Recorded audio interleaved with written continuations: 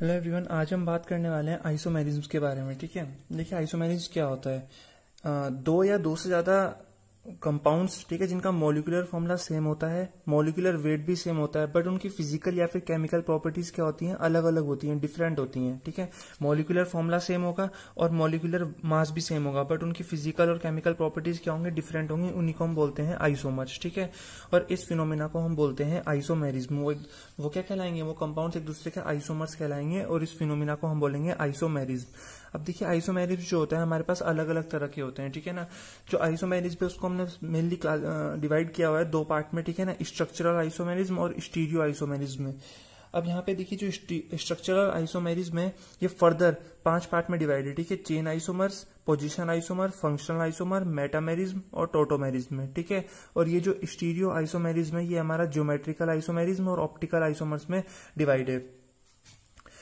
तो सबसे पहले हम स्ट्रक्चरल आइसोमेरिज के बारे में पढ़ते हैं। देखिए ऐसे कंपाउंड्स जिनका मॉलिकुलर फॉर्मूला सेम होता है बट स्ट्रक्चर्स उनके क्या बनते हैं? अलग अलग बनते हैं, उन्हीं को हम बोलते हैं स्ट्रक्चरल आइसोमेरिज्म क्या बोलेंगे? स्ट्रक्चरल आइसोमेरिज्म ओके ये अलग अलग टाइप्स के होते हैं, जैसे chain isomer position functional metamerism tautomerism तो एक एक करके इन्हीं के बारे में डिस्कशन करते हैं, ठीक है?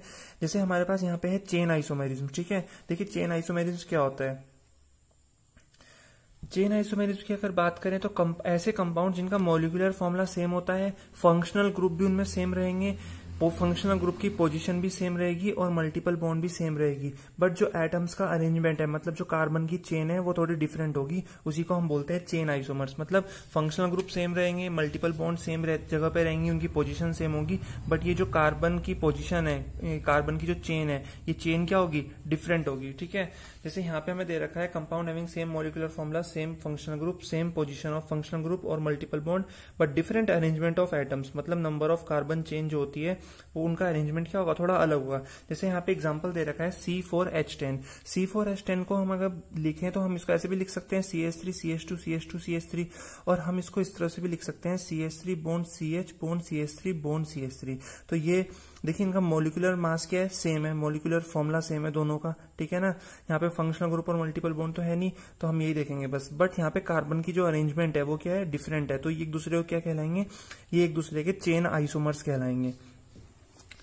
जैसे यहाँ पे देखिए सी फोर एच एट है तो इसको अगर हम लिखें तो इस तरह लिख सकते हैं C H three bond C H two bond C H double bond C H two देखिए यहाँ पे चेन है कार्बन की और साथ ही साथ मल्टीपल बॉन्ड है। तो मल्टीपल बॉन्ड की पोजीशन कौन से नंबर पे है? वन नंबर पे। वन पे है ना मल्टीपल बॉन्ड तो अब हमें चेन अलग बनानी है बट मल्टीपल बॉन्ड हमेशा फ़र्स्ट नंबर पे आनी चाहिए। तो कौन सी चेन बन सकती है इसकी? ये वाली C H three bond C bond C H three double bond C H two देखिए यहाँ पे मल्टीपल बॉन्ड की पोजीशन वही है वन नंबर यहाँ पे करेंगे नंबरिंग वन टू थ्री और ये मिथाइल हो गया टू पे।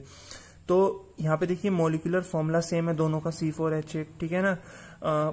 मल्टीपल बॉन्ड सेम है, यहाँ पे भी एक डबल बॉन्ड है, यहाँ पे भी डबल बॉन्ड है। मल्टीपल बॉन्ड की पोजीशन सेम है, ठीक है ना? बट कार्बन का जो अरेंजमेंट है, वो थोड़ा अलग है। तो ये एक दूसरे को क्या कहलाएँगे? ये एक दूसरे के चेन आइसोमर्स कहलाएँगे और इसी फिनोमिना को बोलते हैं चेन आइसोमेरिज्म आई होप आपको क्लियर हो गया होगा। जैसे यहाँ पे सी फाइव एच टेन ठीक है ना? तो इसके अरेंजमेंट दिखा दिए हमने इस तरह से। ठीक है? अब देखिए यहाँ पे फंक्शनल ग्रुप वाला है। जैसे हमारे पास है C four H nine O H ठीक है?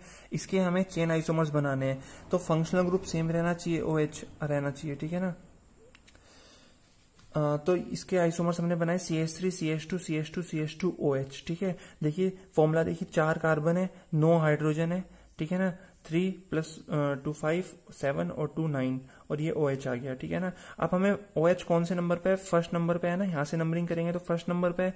तो अब हमें इसका एक और आइसोमर बनाना है जिसमें ओ OH फ़र्स्ट नंबर पे ही रहना चाहिए। बट कार्बन की चेन का अरेंजमेंट थोड़ा अलग हो। तो हमने इस तरह से बना दिया C S three bond C H bond C S three bond C H two bond O H देखिए यहाँ पे जो फंक्शनल ग्रुप है वो फ़र्स्ट पोजिशन पे ही है। बट यहाँ पे कार्बन की चेन का जो अरेंजमेंट है वो थोड़ा अलग है। तो ये दोनों एक दूसरे क्या कहलाएँगे? Chain isomers कहलाएँगे। तो हमें सिर्फ़ इतना ध्यान रखना है कि अगर हमें चेन आइसोमर बनाने हैं तो हमें मिनिमम फोर कार्बन की रिक्वायरमेंट होती है, ठीक है ना? अगर तीन कार्बन के हम चेन आइसोमर बनाते हैं, जैसे सी थ्री एच एट है, इसके अगर हम चेन आइसोमर बनाएँगे तो पहला तो ये बन जाएगा C H three C H two और ये सी एच थ्री बट अगर नेक्स्ट हम बनाना चाहें तो इस तरह से ही बनाएँगे C H two C H three तो ये भी तो एक स्ट्रेट ही चेन होगी। ठीक है ना? ये भी एक सिंपल चेन है, तीन कार्बन की और ये भी होगी। तो इनके नाम तो एक ही है ना? तो ये आइसोमर्स नहीं कहलाएँगे। तो इसका मतलब ये है कि चेन आइसोमर्स अगर हमें बनाने हैं तो हमें मिनिमम कितने कार्बन की रिक्वायरमेंट होती है? फोर कार्बन की। तो हमें ध्यान रखना है कि हमें यहाँ पे मिनिमम फोर कार्बन की रिक्वायरमेंट होती है। क्लियर हुआ इतना? चलिए अब बात करते हैं पोजीशन आइसोमर की, ठीक है? देखिए पोजीशन आइसोमर की अगर हम बात करें पोजीशन आइसोमर कैसे तो पोजिशन आइसोमर्स क्या होते हैं? तो ऐसे कंपाउंड जिनका मोलिकुलर फॉर्मूला सेम होता है, ठीक है ना? मोलिकुलर मास सेम होता है फंक्शनल ग्रुप सेम होते हैं मल्टीपल बॉन्ड सेम होती है कार्बन भी सेम होते हैं बट जो फंक्शनल ग्रुप है, जो सब्सटीट्यूएंट है और जो मल्टीपल बॉन्ड है, उनकी पोजीशन क्या होनी चाहिए? अलग होनी चाहिए। तो इसीलिए पोजीशन इनकी अलग होती है, इसको पोजीशन आइसोमर बोलते हैं। वहाँ पे चेन अलग बनानी थी ना पोजीशन सेम थी फंक्शनल ग्रुप सेम था मल्टीपल बॉन्ड सेम थी बट चेन अलग बननी थी तो उसे चेन आइसोमर बोलेंगे। यहाँ पे हमें सब चीज़ सेम रहेगा बट फंक्शनल ग्रुप सब्सटीट्यूएंट और मल्टीपल बॉन्ड की पोजिशन अलग हो जाएगी। तो इसको हम पोजिशन आइसोमर बोलेंगे। क्या बोलेंगे? पोजीशन आइसोमर देखिए एग्जांपल जैसे हमारे यहाँ पे है C S three C S two C S two C S two C L तो यहाँ पे चार कार्बन की चेन है और सी एल जुड़ा हुआ है। तो कार चेन सेम रहेगी। चेन में कोई फ़र्क नहीं पड़ेगा, ठीक है? चेन सिंपल रहेगी बट यहाँ पे जो सब्सटीट्यूएंट है, इसकी पोजीशन क्या थी? वन पोजीशन थी। फ़र्स्ट पे था ना तो इसकी पोजीशन चेंज कर दो, इसे सेकंड पे कर दिया, ठीक है? तो ये हो गया हमारा फंक पोजिशन आइसोमेरिज्म जैसे यहाँ पे हमें दे रखा है C S three C S two C S two O H तो यहाँ पे जो ये फंक्शनल ग्रुप है एल्कोहल ये फ़र्स्ट नंबर पे है ना, इसको हमने हटा के सेकंड नंबर पे रख दिया। तो फंक्शनल फंक्शनल ग्रुप की पोजीशन चेंज कर दी तो ये हो गया पोजीशन आइसोमर ठीक है? इस तरह से हम कर सकते हैं। जैसे हमारे पास अगला है C H three bond C H two bond C H double bond C H two ठीक है? यहाँ पे क्या हो रहा है? देखिए यहाँ पे जो मल्टीपल बॉन्ड है, ये फ़र्स्ट पोजीशन पे है, ये फ़र्स्ट पोजीशन पे है ना यहाँ पे मल्टीपल बॉन्ड तो इसको हमने यहाँ से हटा के सेकंड पोजीशन पे कर दिया। चेन सेम रहेगी बट जो मल्टीपल बॉन्ड है, उसकी पोजीशन क्या होगी? चेंज होगी। पहले कार्बन नंबर वन पे थी, अब कार्बन नंबर टू पे आ गई। अगर इधर से करेंगे तो भी टू पे और इधर से नंबरिंग करते हैं तो भी टू पे है। तो ये कहलाएँगे एक दूसरे के पोजिशन आइसोमेरिज्म ठीक है? तो आई होप आपको समझ में आ गया होगा चेन आइसोमेरिज्म क्या होता है और पोजिशन आइसोमेरिज्म क्या होता है, ठीक है? चलिए अब बात करते हैं फंक्शनल आइसोमेरिज्म की, ठीक है?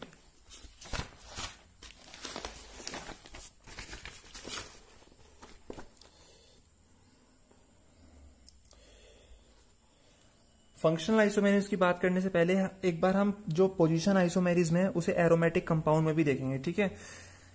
जैसे ये भी कुछ एग्जांपल है हमारे पास पोजीशन आइसोमेरिज के एग्जांपल है। यहाँ पे जो NO2 ग्रुप है, वो कौन से नंबर पे है? वन नंबर पे। यहाँ पे हमने इसको चेंज कर दिया सेकंड नंबर पे। तो ये भी एक दूसरे क्या कहलाएँगे? पोजीशन आइसोमेरिज चेन तो सेम है ना? यहाँ पे भी देखो चेन सेम है बट ये जो मल्टीपल बॉन्ड है डबल बॉन्ड है, इसकी पोजिशन क्या होगी? अलग हो गई ठीक है?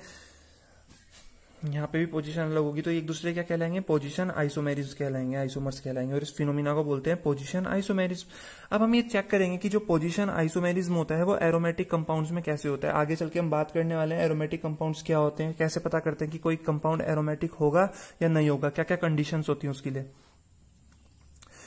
तो ध्यान देना कि जैसे कोई मोनो सब्सटीट्यूटेड बेंजीन रिंग है मतलब एक ऐसी बेंजीन रिंग जिसपे सिर्फ़ एक ही सब्सटीट्यूएंट है तो वो पोजीशन आइसोमर नहीं देगा, ठीक है ना? क्यों नहीं देगा? यहाँ वो भी देख लेते हैं। जैसे हमारे पास ये है, यहाँ पे बेंजीन रिंग है, ठीक है? ये हमारे पास बेंजीन रिंग है और यहाँ पे मोनो सब्सटीट्यूएंट जैसे ओ OH है, ठीक है ना? फिनोल है। तो यहाँ पे सिर्फ़ एक सब्सटीट्यूएंट है ना तो अब इसको अगर हम ऐसे लिखें, यहाँ पे लिखें तो भी ये सेम रहेगा फिनोल ठीक है ना? यहाँ पे लिखें तो भी ये सेम रहेगा फिनोल यहाँ पे लिखें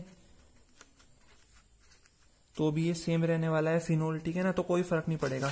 तो मोनो सब्सटीट्यूटेड बेंजीन रिंग जो होती है, वो पोजीशन आइसोमर शो नहीं करती है। लेकिन जो डाई सब्सटीट्यूटेड मतलब ऐसी बेंजीन रिंग जिसपे दो सब्सटीट्यूएंट होते हैं, ठीक है ना?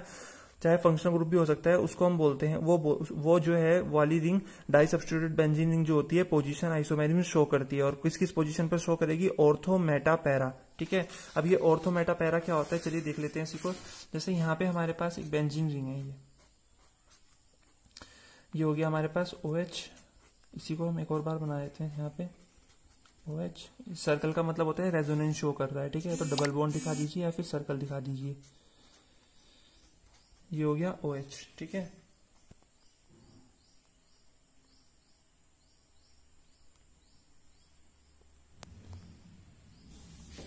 देखिए, एक एक सब्सटीट्यूएंट तो इस पे आ गया। अब हम यहाँ पे क्या करेंगे? जो सब्सटीट्यूएंट के बगल वाली पोजीशन होती है, इसको हम बोलते हैं ऑर्थो पोजीशन ठीक है ना? जैसे हमने ये बनाया, ये हो गया हमारा ओ OH ठीक है? ये वाली पोजीशन जो होती है, इसको बोलते हैं ऑर्थो पोजीशन कौन सी पोजीशन ऑर्थो ठीक है ना? और इस वाली पोजीशन को हम बोलते हैं मेटा पोजिशन और इस वाली पोजिशन को हम बोलते हैं पैरा पोजिशन ठीक है? तो हमें इस तरह से ध्यान रखना है ओ एम पी ठीक है? किस तरह से ध्यान रखना है? ओ एम पी जैसे यहाँ पे सब्सटीट्यूएंट है ठीक है ना? फंक्शनल ग्रुप है ये एल्कोहल तो इसके बगल वाली पोजीशन क्या हो जाएगी? ओर्थो इसके बगल वाली हो जाएगी मेटा और इसके बगल वाली हो जाएगी पैरा ठीक है ना? इधर वाली क्या है ये? ऑर्थो ये मेटा और ये पैरा ठीक है? इस तरह से हमें ध्यान रखना है। सब ओ एम पी ठीक है ना? ये वर्ड याद रखना है ओ एम पी तो इस तरह से हम भूलेंगे नहीं। जैसे यहाँ पे ओ एच है ठीक है ना? तो यहाँ पे आइसोमेरिज्म कैसे होगा? देखिए, यहाँ पे आइसोमेरिज्म कैसे होगा? जो एक और सब्सटीट्यूएंट है, वो शायद ऑर्थो पे आए, ठीक है? या फिर पैरा पे आए, या फिर मेटा पे आए। तो ये अलग अलग पोजीशन आइसोमर इसके बन गए, ठीक है ना? तो इसीलिए हमने बोला था, जो मोनो सब्सटीट्यूट बेंजीन होगी, वो पोजीशन आइसोमर शो नहीं करेगी बिकॉज़ कहीं पे भी ओ OH जोड़ दो, वो फिनोली कहलाएगा। बट यहाँ पे इन तीनों का नाम क्या हो जाएगा? अलग अलग हो जाएगा, ठीक है ना? फिनोल में हमने क्लोरीन को एक बार ऑर्थो पे जोड़ा, एक बार मेटा पे जोड़ा, और एक बार हमने इसको पैरा पे एड किया है, ठीक है? तो देखिए, इनका नाम हो जाएगा वन टू पोजिशन ऑर्थो ठीक है? इसे बोलते हैं वन टू पोजिशन इसको बोलते हैं वन थ्री पोजिशन और इसको बोलेंगे वन टू थ्री फोर तो वन फोर पोजिशन ठीक है ना? या फिर सिंपल बोल सकते हैं ortho position para meta position और ये पैरा पोजीशन ठीक है?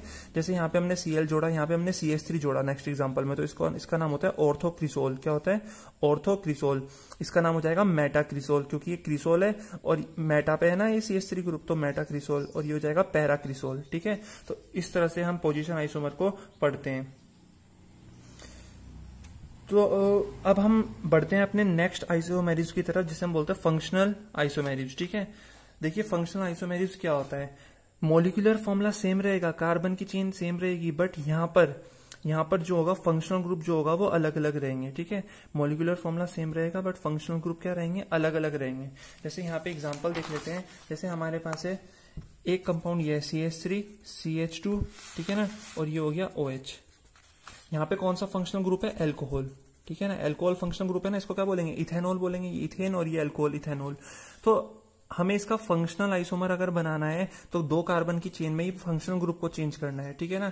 तो हम इसे इस तरह से लिख सकते हैं कि C H three bond C double bond O bond C H three ठीक है ना? तो ये भी क्या है हमारे पास? सॉरी इस तरह से नहीं लिख सकते, हम इसको इस तरह लिख सकते हैं सी एच थ्री ठीक है ना? और ये bond O bond C H three तो देखिए, दो कार्बन है ठीक है ना? छह हाइड्रोजन है और एक ऑक्सीजन है, ठीक है ना? यहाँ पे तो डबल बॉन्ड नहीं है ना? यहाँ पे डबल बॉन्ड नहीं लगा सकते हम। तो C S three O C S three तो फॉर्मूला तो हमारे पास वही है ना कि C two H six O देखिए, ये भी फॉर्मूला वही है, ये भी फॉर्मूला वही है। मोलिकुलर मास सेम है, ठीक है ना?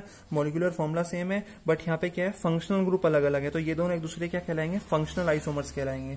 आई होप आपको समझ में आ गया होगा।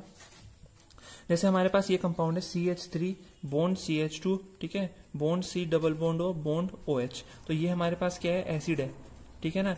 इसी का अगर हमें फंक्शनल आइसोमर बनाना है, कितने कार्बन यूज़ हो रहे हैं यहाँ पे? One two three three carbon तो हमें भी वहाँ पे थ्री कार्बन यूज़ करने हैं बट फंक्शनल ग्रुप क्या होना चाहिए? अलग होना चाहिए, ठीक है?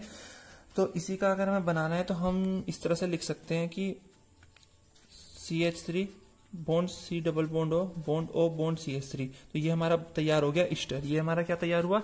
ईस्टर तैयार हो गया. तो देखिए मोलिकुलर फॉर्मूला सेम है. तो यहाँ पे एसिड है फ़ंक्शन ग्रुप और यहाँ पे क्या फ़ंक्शन ग्रुप आ गया? ईस्टर फ़ंक्शन ग्रुप आ गया.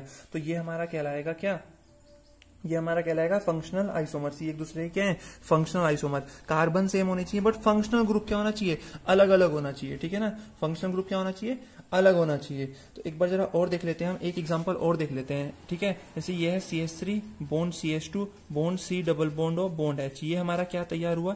ये हमारा एल्डिहाइड तैयार हुआ। क्या तैयार हुआ? एल्डिहाइड अब हमें इसका फंक्शनल आइसोमर बनाना है। कार्बन सेम होने चाहिए तीन बट फंक्शनल ग्रुप चेंज करना है। तो इसका हम बना देंगे इस तरह से C S three C double bond और बॉन्ड सी एस थ्री ठीक है ना? देखिए, यहाँ पे भी तीन कार्बन है, यहाँ पे भी तीन कार्बन है। छह हाइड्रोजन है, यहाँ पे भी छह हाइड्रोजन है, एक ऑक्सीजन है और डबल बॉन्ड है। तो ये हमारा एल्डिहाइड हुआ और ये हमारा आ गया कीटोन ठीक है? ये हमारा क्या आ गया? कीटोन तो ये एक दूसरे क्या कहलाएँगे? Functional isomers कहलाएँगे।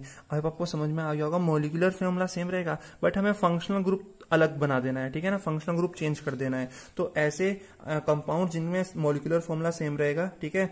But functional group जो रहेगा, वो अलग अलग रहेगा। उसको हम बोलते हैं फंक्शनल आइसोमर्स ठीक है? और उस फिनोमिना को बोलते हैं फंक्शनल आइसोमेरिल तो आप आपको समझ में आ गया होगा ये फंक्शनल आइसोमर्स ठीक है? तो आज की इस वीडियो में हमने बात की चेन आइसोमर्स की पोजिशन आइसोमर्स की एंड फंक्शनल आइसोमर्स की। नेक्स्ट वीडियो में हम बात करेंगे मेटामेरिज्म एंड टोटोमेरिज्म की, ठीक है? तो अगर आपको आज की वीडियो पसंद आई तो प्लीज़ चैनल को सब्सक्राइब कर दें, ठीक है? वीडियो पसंद है तो लाइक करें।